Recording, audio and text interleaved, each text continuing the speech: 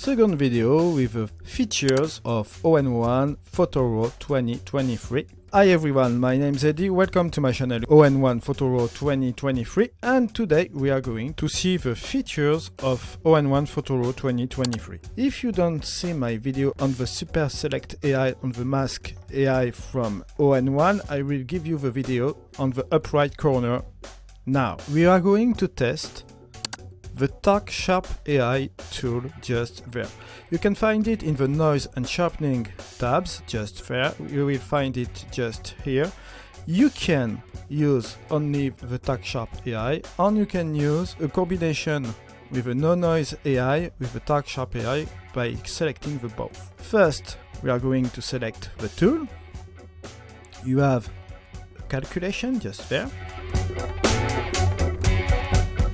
And as you can see you have the image a little bit out of focus and as you can see you have this result. It's of course too much but you can play with the TackSharp AI debugger just there the sliders. You can go in the negative way.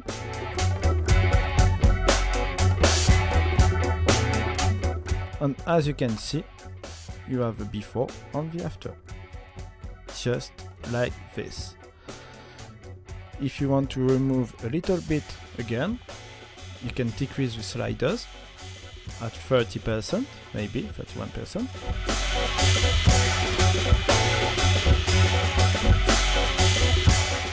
Just like this. And you have the before and the after, as you can see. If you want, you can decrease the micro sharpening too, just there. You can decrease the micro sharpening or increase it, as you can see. It's a second slider if you want. But as you can see, this tool is working really well.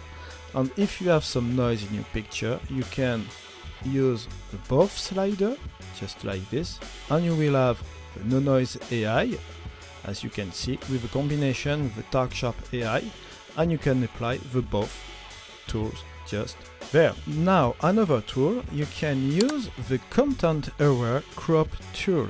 If I select the Content Aware tool and I select my level just there, you can use it just here. And as you can see, you have the image just in this direction. The problem is you have some dark area just there and there, as you can see, and just here. What we can do, we can crop the image, but now with the content aware tool, you can apply this tool and you will see something really cool. Here we go.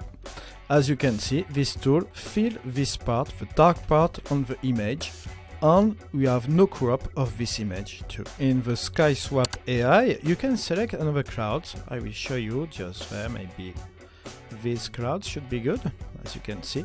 We can change the lighting of the foreground, as usual, as you can see, just maybe a little bit like this. Give a distance, maybe like this. And we have a new slider, it's the level slider, just there. You can modify, as you can see, the level of the slider, the clouds, on the left or on the right. This level slider allow you to have another adjustment for swapping your sky, just there. You can remove and reduce the color fringe just in your picture. I am in a zoom in 200% and as you can see we have some fringe, some green fringe just there and there and around the tree just here. You have just to push this button just there. And as you can see it removes the color fringe. You have a strength slider just there, you can increase the power of this tool or decrease of course. But as you can see with only one button you can remove the color fringe. You can scan one picture just there, you push a button. And ON1 will generate some keywords automatically just there. And you can select some keyword as you can see or you can add all the keywords at the same time by selecting this option at all. Thanks for watching, see you in the next video, bye bye.